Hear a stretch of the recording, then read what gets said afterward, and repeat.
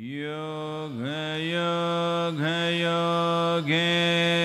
स्राय भूत भूत भूते स्वाराय काल काल।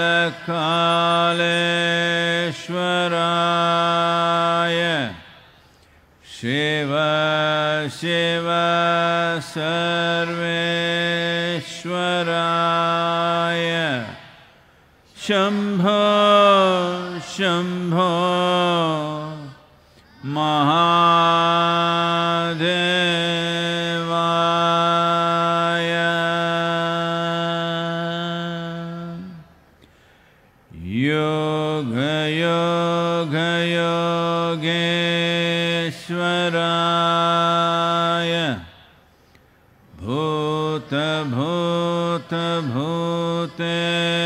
स्वराय काल काल कालकालकालेश्वराय शिव शिव सर्वेश्वराय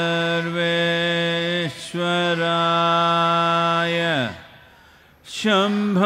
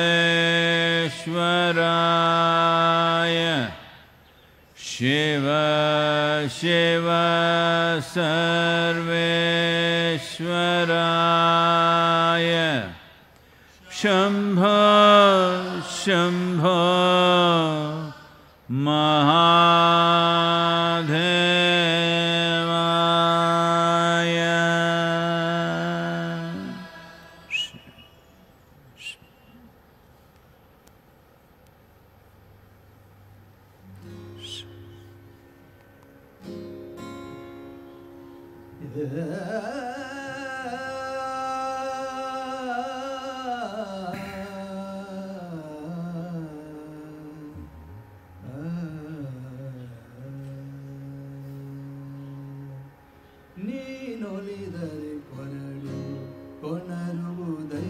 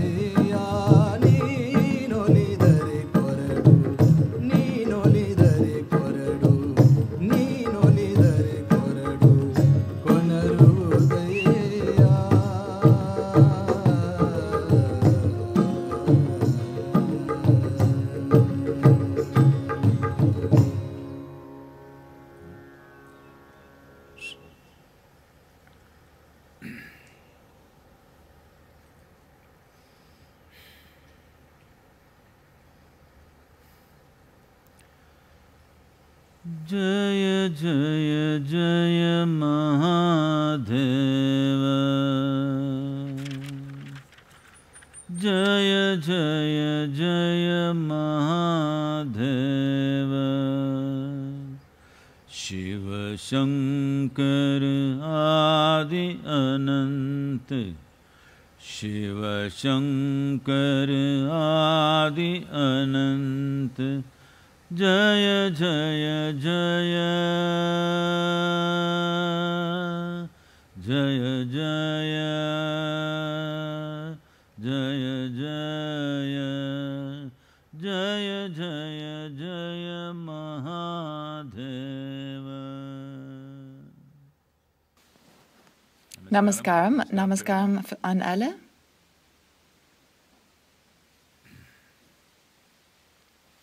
Nun, die Zahlen auf der ganzen Welt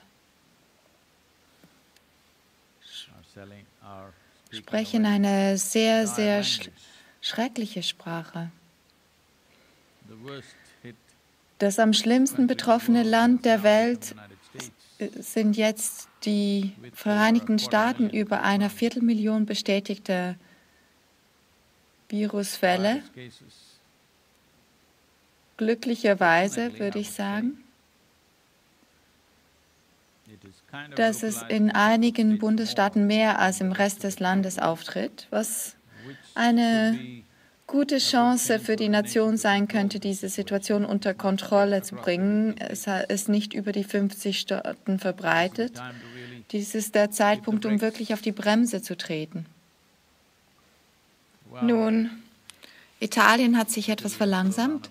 Spanien ist immer noch auf Hochtouren unterwegs. Großbritannien nimmt an Fahrt auf. Auch Indien hat sich in die Höhe geschraubt. Die Zahlen sind immer noch gering, was die Bevölkerung betrifft. 77 Todesopfer, 77 Leben sind nicht gering. Aber in Zeiten wie diesen betrachten wir es als ein Glück, dass es nur 77 sind. Denn in einer so dicht besiedelten Nation könnte es sehr heftig werden. Aber ich glaube, wir haben die Bremse schon lange vorher gezogen. Es ist wichtig, es dort zu halten. Denn wenn diese Dinge erst einmal in Fahrt kommen, dann wird es unkontrollierbar werden. Es geschah einmal. Shankar Pillai lebte in Tennessee.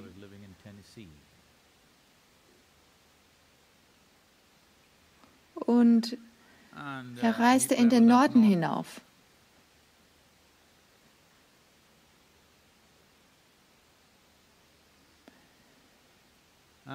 Er fuhr auf dem Highway 89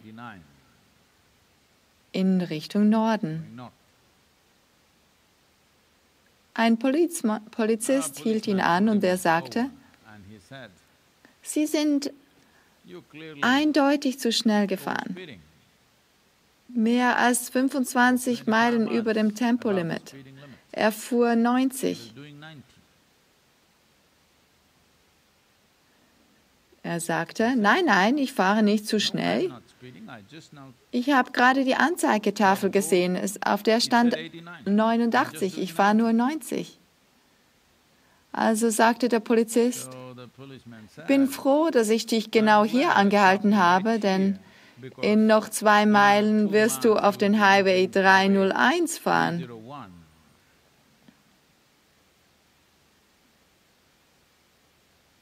It's very Es ist sehr wichtig. Dass wir das Virus stoppen, wenn es noch nicht Fahrt und Schwung aufgenommen hat. In Indien haben wir früh die Bremse angezogen. Es zeigt Ergebnisse, abgesehen von einigen unverantwortlichen Dingen, die hier und da geschehen. Großenteils ist die Reaktion des indischen Vo- Volkes phänomenal. Wir müssen jeden einzelnen von euch beglückwünschen. Nun, diejenigen von euch, die hier im Yoga-Zentrum sind oder diejenigen von euch, die den nötigen Platz haben in Bezug auf einen eigenen privaten Garten und so weiter, Diejenigen, die hier in den Vereinigten Staaten und im Yoga-Zentrum sind, haben Glück, denn es hat, der Platz ist riesig. Aber wenn du mit vier Personen in einer Zweizimmerwohnung festsitzt und nicht rauskommst, es könnte etwas bei dir auslösen. Verschiedene Arten von Probleme treten auf.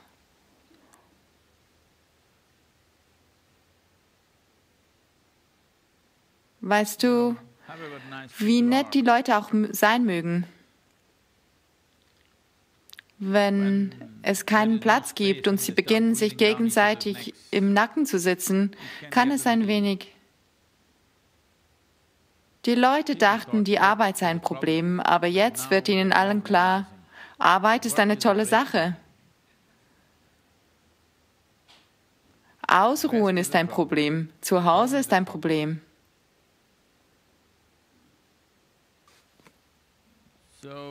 Also das ist nicht, um sich über die Leute lustig zu machen, aber mit all diesen Schwierigkeiten, größtenteils hat die Mehrheit der Bevölkerung mit immenser Verantwortung und Sinnhaftigkeit sich verhalten.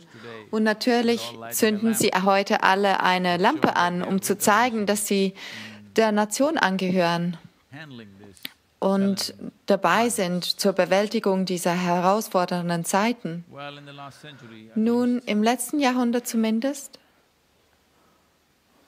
oder vielleicht noch nie zuvor, weltweit haben wir noch nie eine solche Situation erlebt. Pandemien oder Epidemien sind in bestimmten Gebieten aufgetreten und haben die Bevölkerung ausgelöscht. Dank des modernen Reiseverkehrs geht heute alles, was irgendwo passiert, durch die ganze Welt. Deshalb ist es jetzt global. Fast zwei Drittel der Welt sind stillgelegt. Die Menschen versuchen, die. Vorteile davon in Erwägung zu ziehen. Das, die gibt es auf jeden Fall. Man kann es für sein eigenes Wohlbefinden nutzen. Es wird gesagt, andere Lebewesen seien sehr glücklich. Die Leute posten Bilder von Walen und Delfinen. Und natürlich hast du den Pfau gesehen und so viele, viele Dinge.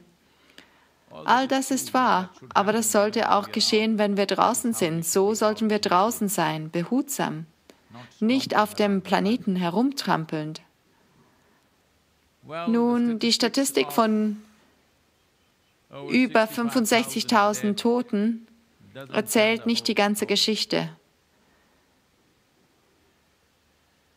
Sie, war, sie erwarten, einige der Schätzungen in den Vereinigten Staaten sagen, dass in den nächsten zwei Wochen zwischen 100 und 200.000 Menschen sterben könnten. Die Zahlen, die du im Moment siehst, geben dir also nicht wirklich ein vollständiges Bild davon, was es los ist.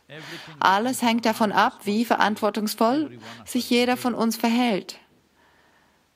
Ein, ein wenig zu lockeres Verhalten wird uns immens viel kosten. In Zeiten wie diesen sollten wir Statistiken benutzen, wie ein Betrunkener, wie ein Mann, der sehr betrunken ist, wie er einen Laternenpfahl benutzt. Nicht zur Beleuchtung, nur zur Unterstützung.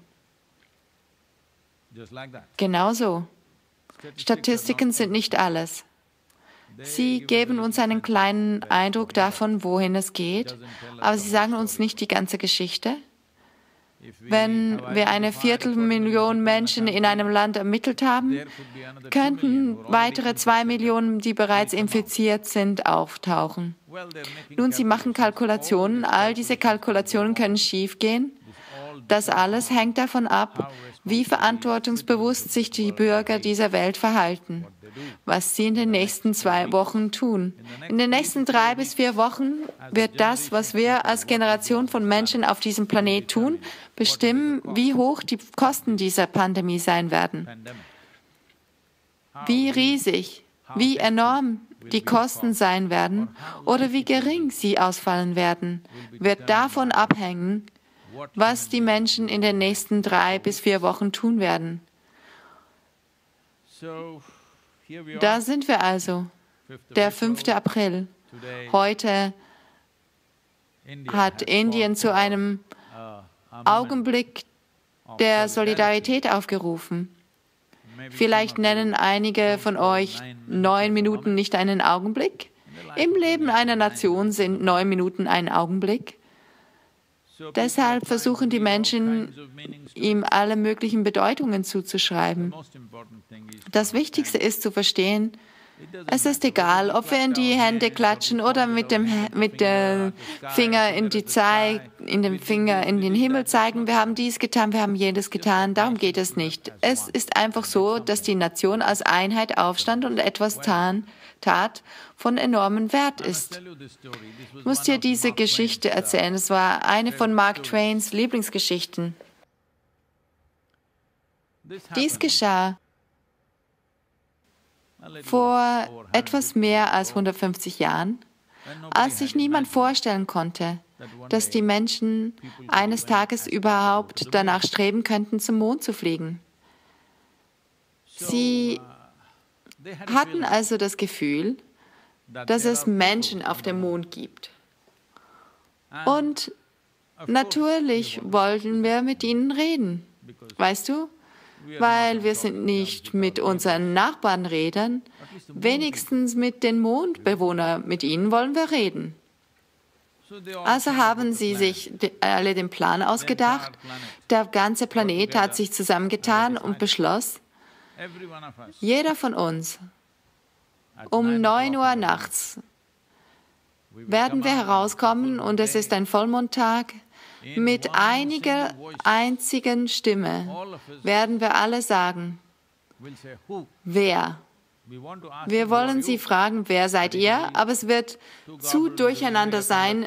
Man bräuchte einen Dirigenten, um es richtig zu machen. Also werden wir nur ein Wort sagen, wer.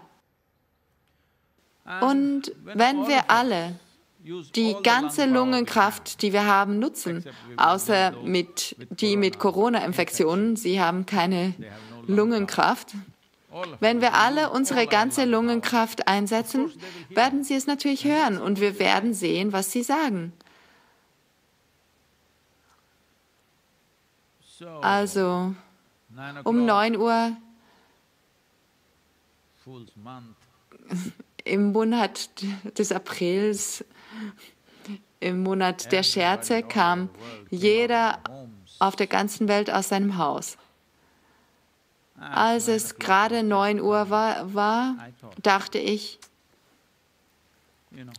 hm, wer bin ich? Ich bin nur ein kleiner Mensch. Und meine Stimme ist nicht einmal groß. Sie ist da, große Stimme. Er ist da, große Stimme. Sie sind alle da, so große Menschen mit großen Stimmen. Ich, selbst mit dem Mikrofon, ich komme nicht so weit. Also wenn ich nicht wer sage, was macht das schon? Sie sind doch alle da, die großen Leute, die wunderbaren Menschen sind da. Aber es ist ein außerordentlicher Moment. Die ganze Menschheit spricht ein Wort zusammen. Also wollte ich diesen Moment erleben. Also beschloss ich, ich muss nicht sprechen, Sie werden alle sprechen. Große, große Menschen sind da. Ich, ich bin nichts. Dieser Moment kam und er ging als ein stiller Moment auf dem Planeten vorbei. Denn das is ist das problem der meisten Menschen. Wenn sie etwas tun müssen, wenn sie einen Beitrag leis- leisten müssen, werden sie schrumpfen und so zu, zu kleinen Menschen zusammenschrumpfen. Wer bin ich? Ich bin nichts. Wenn sie etwas bekommen sollen, werden sie sehr groß werden. Also heute Abend machst du diesen. Trick nicht mit diesem, dem Land. Denn wer bin ich? Mal sehen, jeder wird die Lampe ansehen. Mal sehen, du wirst Dunkelheit sehen. Du bist es, der es tun muss. Kümmere dich nicht um die anderen Menschen. Du musst es tun. Bei den anderen werden wir sehen. Mach dir keine Sorgen um andere. Wenn du einen gewissen Einfluss auf andere wenige Menschen hast, musst du dafür sorgen, dass sie es auch tun. Aber wenn dein Wort so ist, wenn du es sagst, wird es niemand tun, dann sag nichts. Also, heute Nacht um 9 Uhr lassen wir uns es ein spektakuläres Event werden. Die ganze Nation zündet eine Lampe an. Das ist fantastisch. Es könnte sogar schön aussehen, aus auf dem Satelliten aus gesehen. Wenn du nicht rausgehen kannst, wenn du keinen Balkon hast, keinen Garten hast, nichts, dann zünd es in deinem Haus an. Aber zünde eine Lampe an. Es gibt viele weitere ähm, Vorteile davon. Wir können später darüber sprechen. Fragen? Sadhguru, diese Frage ist von Garunesh. Namaskar, Sadhguru. Du hast in so vielen Organisationen gesprochen. Es gibt trotzdem ein Segment der gelben Medien, die, das dich ständig ablehnt und unvernünftigsten und grundlosesten Müll gegen dich ausspuckt. Warum ziehst du solche ähm, zündende Kritik an, die kein anderer spiritueller Führer im Land auf sich zieht? Schau dir an, wie ich bin, deshalb. uh, Nun, schau, es ist die Mango-Saison, die Bäume sind voller Früchte. Es ist Mango-Saison. Nur das, nur der Baum, der voller Früchte ist, bekommt die maximale äh, Menge an Steinen, Würmern, Insekten, alles. Wenn du ein Baum, ein Baum, ein dorniger Baum ohne Früchte bist. Wer wird einen Stein auf dich werfen? Niemand wird einen Stein auf dich werfen. Niemand will einen Stein für dich verschwenden. Niemand will Steine werfen und an dir verschwenden. Wenn du voller Früchte bist, werden sie die ganze Zeit Steine werfen. Das ist ein Hinweis. Es ist ein Barometer, es ist ein Thermometer, dass du Früchte trägst. Deshalb, ich benutze das Wort Thermometer absichtlich, okay? Im Moment ist das das Wertvollste, was es gibt. Jeder fragt, wo ist das Thermometer? Nicht genug Thermometer. Also, diese Leute gehen und, ah, seit 27 Jahren auf uns los. Alle nur lokal, nirgendwo sonst, nur lokale Sachen. Ich muss euch das erzählen. Wahrscheinlich viele von euch wissen nicht über diese Dinge, was äh, die Art und Weise dieser Sachen war. Das ist im Jahre 1995, 1994. Wir sind hier eingezogen, etwas 65, 70 von uns. Eine, hm, wie soll ich sagen, sehr feurige, entschlossene Gruppe von Leuten. Und nichts, nur eine Hütte war da, nur eine Hütte, in der wir alle leben, eine lange Hütte. Nur die Damen haben Toiletten, die Männer gehen alle in den Wald. Zu dieser Zeit sitzen einige Leute in den Bergen und schauen uns mit dem Fernglas an. Nun, ich bin, weißt du, das ist mein Problem. Wenn ich einfach schaue, sehe ich alles, was um mich herum ist. Ich verpasse nichts. Das ist auch ein großes Problem. Denn wenn du blind bist, werden die Menschen Mitleid haben. Wenn du sehen kannst, sind sie neidisch auf dich. Ich sah also Ferngläser blinken, dann fragte ich, wer ist das, diese Ferngläser, die blinken, auf diesem Berg. Es ist offensichtlich auf uns gerichtet, also schickte ich unsere Freiwilligen. Wer ist das? Jemand muss das sein. Okay, ein paar Jeeps waren geparkt, gefunden. Wir versuchten also mit ihnen zu reden. Sie waren nicht bereit, mit uns zu reden und uns zu sagen, wer sie sind, aber sie gingen hinaus und verbreiteten alle möglichen Dinge in der Stadt. Sie sagten, wir haben im Fernglas gesehen, dass sie verrückt sind, sie müssen Drogen nehmen, sie müssen dies und das tun. Das Problem war, dass diese Leute, die, in, im, im Wald frei gewildert haben, nachdem wir gekommen waren, haben wir dem ein Ende gesetzt. Das wurde zu einem großen Problem. Diese engagierte Gruppe von Menschen, die ihre Hobbys und ihre kleinen Geschäfte auf der Grundlage der Waldprodukte betrieben, waren nicht wirklich sehr äh, erfreut mit uns. Sie engagierten Medien, nicht die Massenmedien. Es gibt eine andere Art von Medien, die nicht mit Werbung oder den Einnahmen aus dem Verkauf der, ihrer Zeitschriften angewiesen ist. Denn niemand kauft sie, selbst wenn man sie gratis gibt. Ähm, die Leute werden es nicht benutzen, nicht einmal zum ein, ein ähm, um ein Wada, ein Gebäck einzurollen, weil es zu voller Scheiße ist für irgendetwas. Natürlich kann es kein Toilettenpapier sein, weil es schon verschmutzt ist. Das ist los, das geschieht also. Es gibt also ein, eine Eisenbahnlinie von Sakleshapur nach Mangalore, eine 36 Kilometer lange Strecke mit Meterspur. Ich glaube, sie wurde auf Breitspur umgebaut. Auf diesen 36 Kilometern gibt es über 100 Tunnels und 300 Brücken. Ich habe selbst diese Eisenbahnlinie einige Male begangen und habe mit meinen Leuten hier gesagt und gesagt, wir sollten alle einmal dorthin gehen. Damals gab es noch keinen Tempel, keinen, keinen Zwang für uns, also schlossen wir unseren Ashram.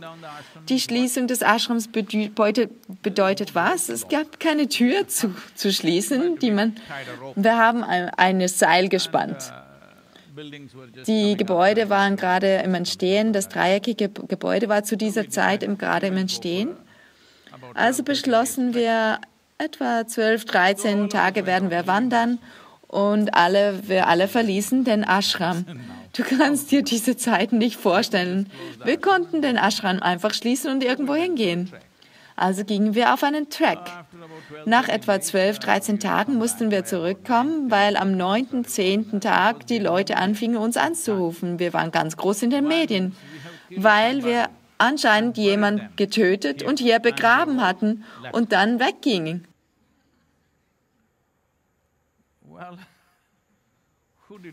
Wen wir getötet haben, wussten wir nicht. Also sind wir zurückgekommen bis dahin war es überall ein großes Gerücht, oh, sie haben jemanden getötet, haben ihn im Wald begraben und sind weg. Und natürlich dieser Müll, all dieses Zeug. Als wir dann zurückkamen, am Tag, an dem wir zurückkamen oder erst am Abend davor, ging die Forstverwaltung auf die Suche nach dem Geruch, welcher entstanden war, und sie gruben einen Ort aus und sie fanden, dass jemand eine Python getötet hatte. Jemand nahm die große Python, häutete sie, nahm die Haut ab, vergrub die Leiche im Wald und war weg und es stank. Also haben diese Leute die Geschichte erfunden, dass wir jemanden getötet haben und den Ort verließen. Von da an ging es also los. Das geht immer noch so weiter mit den gleichen oder ähnlichen Geschichten. Wir sind schon sehr weit gekommen, aber Sie sind leider immer am selben Ort stecken geblieben. Ich möchte, dass auch Sie weitergehen, aber weißt du, Sie sind zu tief in der Scheiße. Ich sag dir, du wirst es nicht glauben, die Art von Dinge. Die ersten Brahmacharinis kamen. Ich habe allen männlichen Brahmacharyas gesagt, 15 Tage müsst ihr in einem Altersheim dienen gehen. Alle weiblichen Brahmacharinis sagte ich, dass sie in ein Kinderheim gehen und dort dienen müssen. So fanden wir ein Kinderheim in Coimbatore, das von einer alten Frau geleitet wurde. Ich war schon früher im Kinderheim geblieben, als ich nach Coimbatore kam. Es war sehr rudimentär. Sie gingen und blieben dort. Das Essen war sehr schlecht. Drei unserer Brahmacharinis, drei oder vier oder fünf von ihnen, glaube ich, das Essen war sehr schlecht und alle wurden krank. Sie hatten schwere Anfälle von Erbrechen und Durchfall. Also mussten drei von ihnen in ein örtliches Pflegeheim eingewiesen werden. Sofort schrieb dieselbe, dasselbe Medien, dieselben Medien, also diese Leute vom Isha Yoga Zentrum, die Brahmacharinis, sind alle für eine Abtreibung in das Pflegeheim gekommen. So sind diese Leute. Was soll man mit ihnen machen? Sie leben im Dreck und verkaufen Dreck. Weil sich der Dreck nicht verkauft, haben sie auch festgestellt, dass wenn sie sich ihr Lumpen einmal alle drei Monate, wenn sie mein Foto auf die Titelseite bringen, ist es ein bisschen verkauft. Es ist ihr Lebensunterhalt. Was für eine schreckliche Art, seinen Lebensunterhalt zu verdienen. Ich wünschte, sie würden bessere Wege finden, dies zu tun. Es ist das egal, weil ich habe mich bewusst so gemacht, dass man mich entweder lieben oder hassen kann. Man kann nicht irgendwo dazwischen stehen, weil ich diese Dazwischenmenschen nicht mag. Aber leider hassen diese Menschen dich nicht einmal. Sie versuchen nur, von dir ein Leben auszumachen. Parasitäre Existenz. Zumindest hoffe ich, dass in diesen Zeiten das Virus erkennen, aber nein, jetzt machen sie eine Kontroverse über das Virus, dass das Virus aus dem Isha Yoga Zentrum stammt. Schaut, einige von euch waren verärgert, als ich sagte, das Wuhan-Virus, aber jetzt berichten unsere Medien über einen Virus, der vom Isha-Yoga-Zentrum stammt. Nicht die Mainstream-Medien, die meisten verantwortungsbewussten Menschen tun das nicht, in keiner Weise. Aber dieser Schund tut es. Weißt du, vier, fünf Seiten Artikel bin ich auf der Titelseite dieses. Ich weiß nicht, warum diese Art von Journalismus als gelb bezeichnet wurde, vielleicht weil er beschissen ist. Also bin ich wieder auf der Titelseite dieser Magazine.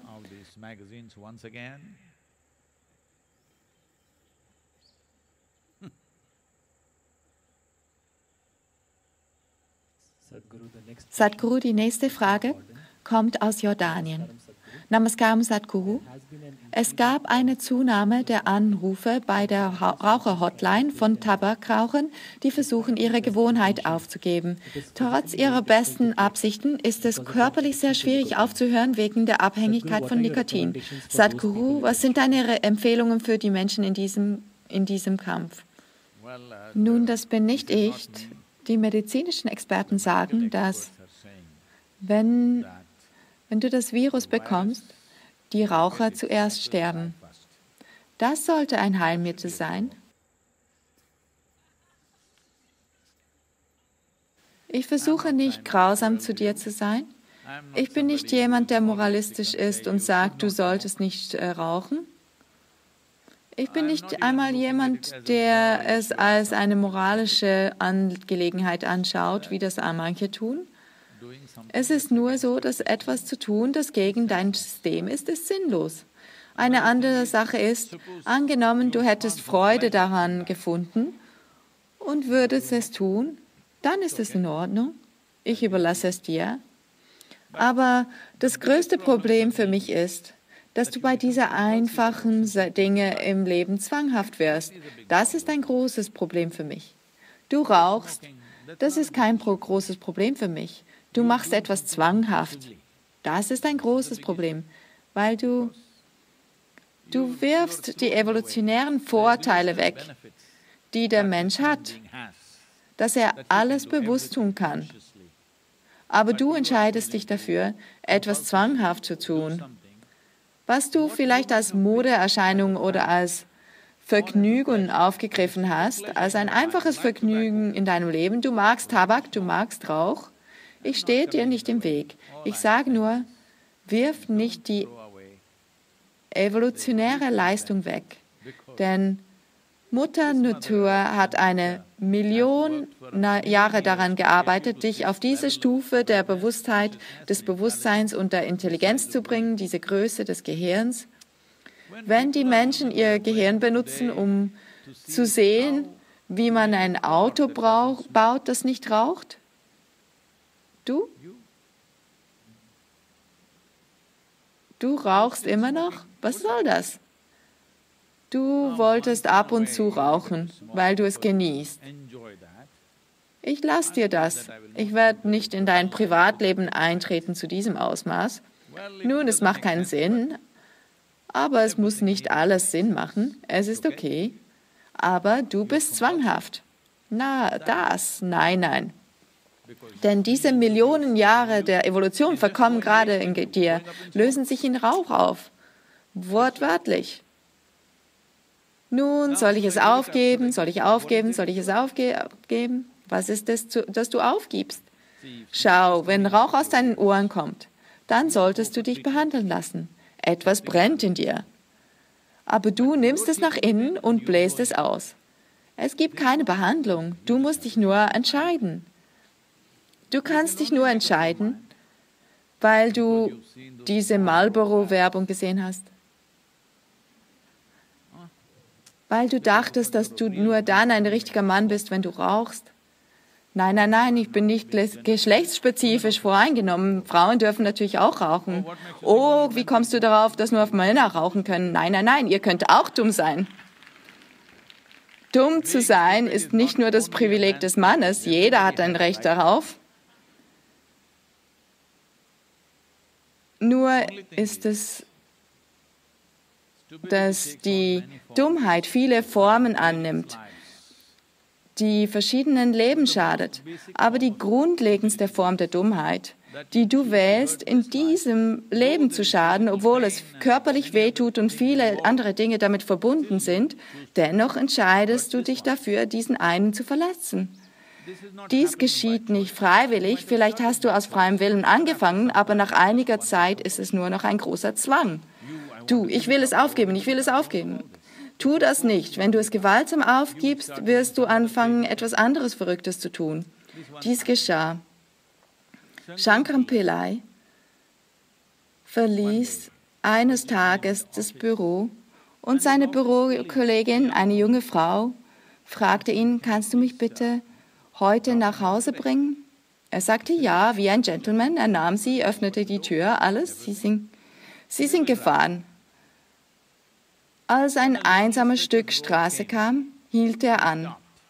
Und plötzlich wurde er wie ein Tintenfisch. Das heißt, er hatte acht Gliedmaßen.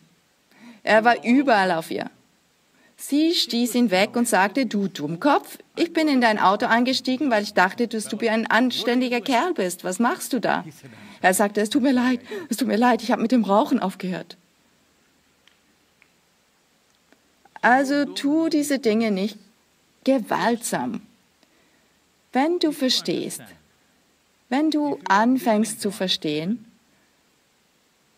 dass wir verstehen, dass ein Bus, der stark raucht, nicht gut ist, ein Auto, das raucht, nicht gut ist, aber in der Entwicklung eines Automobils sind sie immer noch dort, wo sie noch rauchen müssen. Nicht alle von ihnen sind elektrisch geworden, in der Entwicklung eines Automobils ist Rauch immer noch in Ordnung. Wir arbeiten auf ein rauchfreies Auto hin, aber trotzdem ist Rauch in Ordnung, weil die Entwicklung unseres Automobils noch immer nicht an dem Punkt angelangt ist, an dem es völlig rauchfrei ist.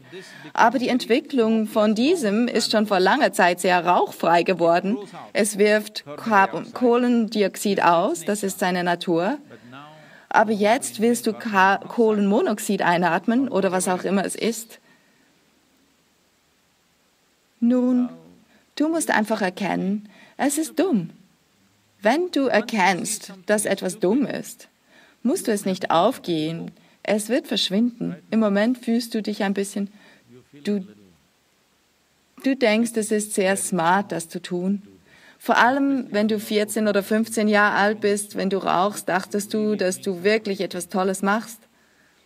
Egal wie alt du jetzt bist, wenn du verstehst, dass dies eine dumme Sache ist, die du machst, musst du sie nicht aufgeben, sie wird einfach abfallen, weil du nicht gerne dumm bist. Ich weiß das, sei keiner. 9 Uhr, zünden wir an, keine Zigarette.